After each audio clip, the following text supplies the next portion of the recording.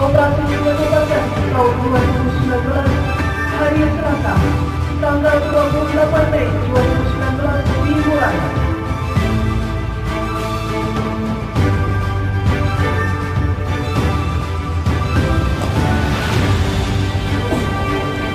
Lapor, apel gelar pasukan, operasi ketupat jadi 2019, siap, dimulai.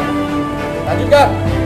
Kepala Kepolisian Desa Jepara selaku pimpinan apel tiba di tempat apel.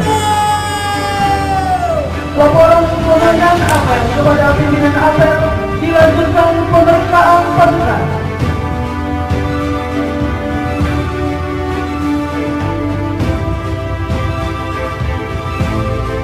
Penjelasan pita tanda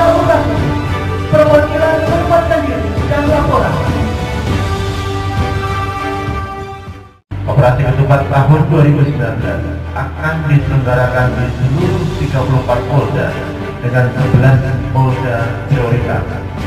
Polri didukung dengan TNI dan seluruh pemangku kepentingan yang terlibat dalam operasi Ketupat tahun 2019 akan bekerja dan mengerahkan segenap sumber daya dalam pengamanan Ramadan dan Idul Fitri tahun 2019.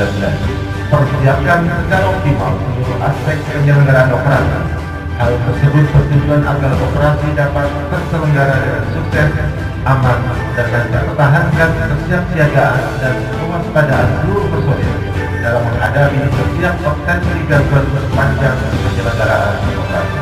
Hindari pelanggaran dan perilaku yang dapat mencederai keberhasilan pelaksanaan tugas.